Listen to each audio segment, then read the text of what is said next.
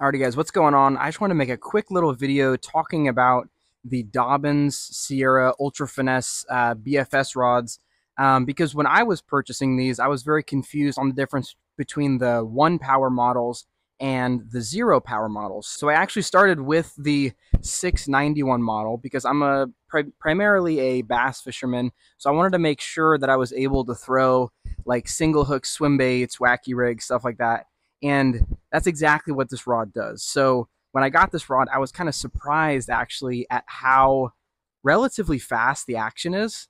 Now there's a nice little tip here, but it kind of shuts off quickly. As you can see, it does not bend quite as much as you get into the actual backbone here. So it's got about, I would say about 12 inches of really soft tip, but then it goes into a nice little backbone that you would expect from like a normal medium heavy rod um, obviously sized down though. So this thing is great for uh, little Neko rigs with small little circle hooks, um, wacky rigs, uh, 2.8, 3 inch swim baits on like a one aught, like guppy head, something like that. This thing is like perfect for it. As far as like weight rating for lures you want to throw on this, I found a really hard time throwing, I've had a really hard time throwing lures that are I would say under four grams on this. And that could be because of my lack of ability. And also, I'm not using the highest end BFS reel. This is the Curado BFS. That's what I've been using on both of these. So again, take that into consideration. But for me, and I feel like for probably the average guy, under four grams was not quite ideal on this rod. But anything above that was perfect. You go five grams and up to about nine-ish grams for me was pretty sweet spot for this. Now, something else to keep in mind, this is not your treble hook bait. So if you're looking to get into those micro jerk baits, the micro crankbaits, little inline spinners, little trout stream, stuff like that, this is not going to be the rod for it. Can you pull it off? Yes, you can. If you're going to throw like a five, six gram hard bait, you can, but you'll notice the rod doesn't quite load on fish the way you'd want it to for those size 14, 12, and size 10 hooks. So it's serviceable, but it's not its primary function or what it's designed for. So if you want to go to more of a uh, trout stream, uh, bluegill, panfish, all that kind of stuff, you're going to want to step down to the zero power. Now, the zero power that I got is the 650, the 650. So it's a six foot five zero power. So not only is it down a power, it's actually shorter as well. Now, the difference between this rod, which I didn't understand until I got it, is not only is it shorter and it's down a power, the tip of the rod is solid carbon. Now, that means that it's extremely limber up here. That's going to help you with those really light lures, but that's not the only difference. That's the difference that everyone's been saying that I knew going into it. But the other difference is the actual action on the blank is a moderate action. It literally says it on the blank right here you have an actual moderate action. Put that right there. As opposed to the 691, the one power, is a fast action. You see how it says light fast action? Fast action is more of what you're used to on like a traditional bass rod, where you get that backbone. You get a little bit of tip, but it shuts off into a backbone quickly. A moderate action is something that is going to bend deeper into the blank. So as we go down here, now I don't want to, as we go down here, it's going to fold much further into your actual blank. As you can see, I'm right in the middle of this, and it's still bending really easily. That's the that's the butt of the rod right here. And look, we're still, I still have some limberness down here. I have limberness basically all the way down through, and along with that carbon tip, this thing is a completely different rod.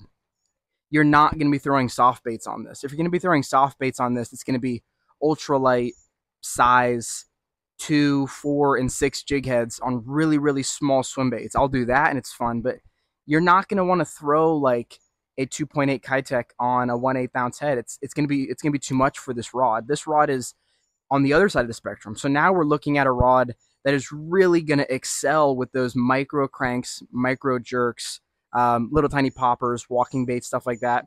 I actually got this rod because I wanted to target some more trout in little streams up in North Carolina and Georgia. And I had originally uh, brought my one power to those same streams and it did the job, but I noticed that I was just way overpowering those little trout on those little trout baits. I wanted to get something that was much more limber, a little bit shorter, and this rod is absolutely perfect. I could not be happier with those two. It's kind of like a nice one-two punch. As far as a lure rating for this lighter rod, I would kind of max out at around six and a half grams.